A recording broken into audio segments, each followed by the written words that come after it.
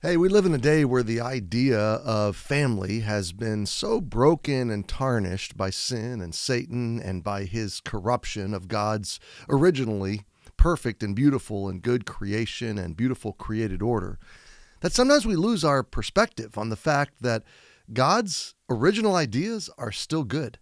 And though we falter and though we struggle and though we fail, in the grace of Jesus and through redemption, through the salvation story of the gospel, we can get back on the road of recovering and pursuing God's ideal. We, we can we can be on an upward spiral of growth instead of a downward spiral spiral of destruction and disintegration. You can be growing forward closer and closer not only to the image of Jesus personally but to the image of God in your family life. So today we're going to talk about the idea that God's original ideas are still good and we should still chase them, pursue them in His grace, in His mercy, in His blessing, despite the fact that uh, this side of heaven it will still be imperfect. I'm Pastor Cary. This is Growing in the Gospel. It is Wednesday as I'm airing this video, and we are Wednesday, Thursday, Friday, slow walking through the Psalms. And so I invite you today to turn with me to a new psalm, Psalm 128. 8. I love it when we start a new psalm. And I don't know about you, but I am loving these this section, these psalms of ascent. Eh, going through them makes me want to write a book about them. And maybe God would give me the grace and opportunity to do that somewhere down the road. But these psalms right here, the 127, 128, they're aimed at the family. And you're going to see that. And that's not to be exclusionary because we're all invited to be a part of God's family and a part of a church family. And so, regardless of what your family structure or whether you're single or married or whatever your situation, there's an application here for you. But I'm going to, the high view today, tomorrow and Friday, we're going to break into, press into uh, the blessed life. What is the blessed life? And we're going to talk Friday about personal blessing amidst political turmoil in the in, in the end of this chapter, this short psalm. But today we're going to introduce it, just set it up, and uh, then go and meditate on it. So it's Psalm 128, Psalms of Ascent. It's the pilgrimage. Remember this? I've said this, I, I think now I've said this almost eight times or something. Um, these are families and villages pilgrimage, traveling to Jerusalem for their feast days and weeks three times a year. So it's about the journey. It's about our journey with Jesus as we're on our own pilgrimage home to the city of God, the New Jerusalem. They're going to the city of God, Old Jerusalem. We're going to New Jerusalem. And so their journey foreshadowed our journey. Their Jerusalem foreshadowed our future Jerusalem, and theirs as well. And so these are really, really strong, applicable, helpful Psalms um, they're songs they sang. And so I, I want you to think of these psalms. I hope you'll embrace them as prayers and as recitations and poems that you can memorize and you can use to frame your own thinking and your own value system we fail these values, but we should never stop valuing them. We should never stop aiming at them and journeying toward them. It's it's like the pilgrimage. They're on an uphill trek up through the mountains and the hills up to Jerusalem, and they're going to stumble and slip along the way, but they're still on the journey, and they're not going to stop until they get there. And so it is with ours. We're going to struggle and stumble along the way in the ups and downs of the journey, but we're aiming at these values. We're aiming at these high ideals that we know honor God and bring blessing in our lives. To the degree that we, by God's grace and by the power of Jesus, embrace and model and live out and live out of these ideals, we're blessed. We experience the blessing and they're not performative blessings, they're intrinsic blessings. Does that make sense? Uh, in other words, it's not that God's withholding them until we're doing good. It is that as we grow, we discover that living this way, aiming at these values, valuing these ideals, it, it's it's it's uh, layered and nuanced. It's built in blessing. Okay, it's intrinsic blessing. God's not withholding it. He's inviting us into it and we opt in or opt out depending on our values. If we value what God values, if we journey with Jesus, if we take the pilgrimage uphill and aim at these ideals in the fear of God and the blessing, we're going to be blessed. The blessing of this journey, the outcome of this journey, I should say, is blessed. If we reject, rebel, if I do it our own way, choose our own way, uh, build our own framework, it's not going to be blessed and it's not going to go well. That's that's kind of the ideal. So we're not performing for blessing. We're learning how to live in the blessing that's really already ours. We can deny ourselves of the blessing or we can engage it, receive it, and grow in it. But we're certainly not earning it. Okay. So with that said, let's uh, let's read this psalm and then uh, just a couple of comments, and then I'm going to send you into your day. And I hope that you will, again, if you have a family, or grandchildren or an extended family, I hope you'll consider these things in the terms of your family. Blessed is everyone that feareth the Lord, that walketh in his ways. So I'm going to I'm going to refrain from commenting. I so desperately want to comment. Let me just start over. Blessed is everyone that feareth the Lord, that walketh in his ways. For thou shalt eat the bread, eat the labor of thine hands. Happy shalt thou be, and it shall be well with thee. Thy wife shall be as a fruitful vine by the sides of thine house, thy children like olive plants round about thy table. Behold, that thus shall the man be pleased that fears or feareth the Lord. The Lord shall bless thee out of Zion and thou shalt see the good of Jerusalem all the days of thy life. Yea, thou shalt see thy children's children, and peace upon Israel. So, in the highest view, God is painting a picture. That's what this psalm is. It, through this poet, through this song, through this singing together, families singing these songs as they're walking, as they're marching, as they're setting up camp and breaking camp and moving forward the next day from wherever they're coming from to Jerusalem, they're passing the time teaching each other about God by singing these psalms. This is the Word of God. This is God teaching us right now about His heart, His designs, His created order. And from the very get go, this is God saying, I want to bless you. This is who I am. You don't need to be terrified of me, but you need a kind of fear that is reverential and respectful and deferential. You need a kind of fear that respects my ways, my created order, my ideas, my framework, my creation.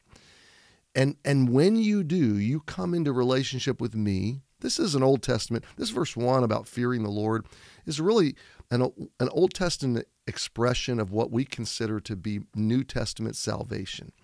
It is to bow in humility and reverence before God and trust Him for redemption, for salvation, and for forgiveness. It is to come into a relationship of with Him of reverential fear as opposed to terrified fear. There's two kinds of fear. We'll talk more about it tomorrow, but we come into this relationship at salvation. And God is teaching us in these six verses that this is a relationship of blessing, that He's the perfect Father, and that our earthly journey with our earthly families are the foreshadowing of something far greater and far more perfect and far more blessed. And I just love the idea that God is not someone to run from, He's someone to run to. He's not someone to hide from, He's someone to hide in. He's not someone to be terrified of, He's someone to reverence with an attractional kind of fear. We are magnetized towards Him because He is the source of goodness and blessing. He is the source of happiness and joy and wholeness. He is the source of fruitfulness and provision and protection. He's the source of all the good things that He wants to bring into our lives. He wants to bring fullness and, and full blessing and fullness of joy in His presence. He wants to bring that to our lives. Think about the phrases in this in this psalm. Blessed is everyone. We'll talk about that more in depth tomorrow. Everyone that fears the Lord, that walks in his ways. Think about the provision. You'll eat the labor of your hands. Think about the emotion. Happy shalt thou be. Think about the fullness of life. It will be well with you. Verse 3 Your, your wife, your marriage, uh, your wife will be fruitful. She'll be flourishing. The picture here of flourishing and the and the agricultural pictures of a fruitful vine and the children being olive plants around the table. It's a picture of wholeness. It's a picture of joy and abundance and fruitfulness. It's a beautiful picture. It's a picture that Hollywood and our secular world tarnishes and trashes and, and tells us it's patriarchal and it's oppressive and all these weird words and all these extreme versions. And of course, of course, there are extreme, terrible, horrible, hideous examples of brokenness. But God's idea of a family is a good idea and his ideals of a loving husband and a loving wife mutually blessing each other in the blessing of God, in relationship with God, and God cultivating a family like a greenhouse and growing up all the members of the family like plants, like trees, like olive trees, like a fruitful vine, and everything growing fruit and everything healthy, everything flourishing in the presence of everything else and kind of mutually feeding and blessing and encouraging and nurturing the other this is a beautiful picture. And it's what a Christian family, it's what a godly family, it's what the family that God designed as an institution was supposed to emulate. And of course, we've all got baggage, we've all got history. We've all we've all we could all share the stories of wreckage in our past and the regrets of bad decisions and failures in our own lives. Uh, we, we have a I have a strong marriage and strong family, and our children love us, and we love our grandchildren, and and we're all very close. But listen, even that picture, as full and wonderful as it is, it is it has been a, a long, arduous journey of properly dealing with failures and regrets, and seeking forgiveness and reconciliation, and pursuing and cultivating health in a broken world with broken selves and with flesh and carnality struggles within us and working through it and growing through it. But but the picture that God's painting here is a good picture. It's a good gift from God. It's a blessed situation. Look at verse 4. Blessed. Verse 5, the Lord shall bless. You'll see the good of Jerusalem all the days. That's future blessing. You'll see thy children's children, peace. That's future blessing, generational, multi generational blessing. So God is painting a picture of an ecosystem that is full and flowing with blessing. Now, again, in a fallen world, in a fallen creation, that blessing is often tarnished. It's often scarred. It's often wounded. It's often broken in a myriad of ways. But I just want to land here and want to challenge you to land here today. Don't throw away the baby with the bathwater and don't get to where all you can see is bathwater, okay? There's a baby there. There's a beauty there. There's an original ideal there that God still blesses as we relinquish to Him, as we submit to Him, as we surrender ourselves to His created order, our roles within that order, and His path of blessing in how we cultivate and nurture and lead our families and how we shape our homes. It still is a path and an ecosystem of blessing. We were designed to bless each other, and we can belong, by the grace of Jesus, to a Father who wants to bless us. So, yeah, God's idea of family is still good. And I in, invite you to make this psalm and these psalms a prayer from your heart to your God. God, help me to cultivate these ideals and values in my family teach us these things, lead us in these ways. Be the God of our family, be the God of my home, be the Lord of my loving relationships. And He will. And it's a long journey and it's an uphill journey, but you're still on a pilgrimage and you're going to the city of God and you're bringing those you love with you. So trust the designer, trust that God's picture and God's idea is still a blessed picture and it's still worth pursuing. Don't give up on it. Yes, God's idea of family is still good. And I realize if we embrace God's ideas of family in our 21st century, we are the exception. We are swimming upstream. But you know what? I'd rather swim upstream alone and experience this blessing than to swim downstream with all the self destructive practices and ideas and philosophies and sin tainted wreckage that my culture has to offer me. I am not going to buy Hollywood's lies about sex, love, and romance. I'm not going to buy the world's ideas about gender and and the sexual narrative and human uh, uh, liberty. I'm I'm not going to buy the, the culture's ideas that these are just man-made constructs and systems that need to be broken down. Marriage, gender, all these re- realities, all these battles, all these wars. No, I'm going to embrace God's definitions. I'm going to ask God to be the Lord of my home and family, and I'm going to trust. And I, I'm personally experiencing that there's blessing in this path. There's blessing in this ideal. It's an uphill trudge, it's hard work, but it is blessed. God's idea of family is still good. And that is what I have for you today. And that is the introduction of Psalm 128.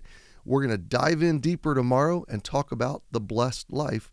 So share your comments, share the video. If you're new, stick around, click, click subscribe, take the journey with us.